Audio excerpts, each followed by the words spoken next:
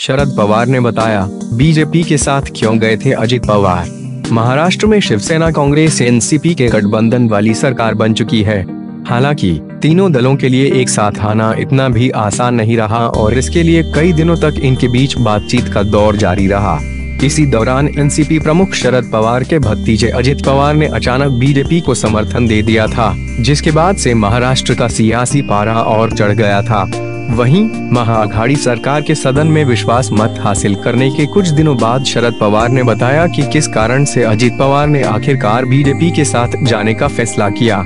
महाराष्ट्र बैठक में कांग्रेस नेताओं का बर्ताव खराब था। शरद पवार महाराष्ट्र में गठबंधन सरकार बनाने के पीछे शरद पवार का ही दिमाग था। खुद शरद पवार ने एक इंटरव्यू में बताया था कि कांग्रेस की अंतरिम अध्यक्ष सोनिया गांधी शिवसेना के साथ जाने को तैयार नहीं थी। लेकिन महाराष्ट्र कांग्रेस यूनिट के नेताओं और शरद पवार के कहने पर वे उद्धव ठाकरे की पार्टी के साथ जाने को तैयार हुई थी। हालाँकि, शरद पवार ने अजीत पवार के बीजेपी के साथ जाने के पीछे जो कारण बताए हैं, उससे कांग्रेस ज़रूर असहज महसूस कर सकती है। शरद पवार हमारी पार्टी को इस गठबंधन में क्या मिला पवार? इंडिया टुडे को दिए इंटरव्यू में शरद पवार ने पावर शेयरिंग डील पर भी असंतोष व्यक्त किया, जो उद्धव ठाकरे सरकार के शपथ ग्रहण से पहले कई दौर की बैठकों के बाद तीनों दलों के बीच हुई थी। शरद पवार ने कहा, एनसीपी के पास शिवसेना से दो सीटें कम और कांग्रेस से दस सीटें ज़्यादा हैं।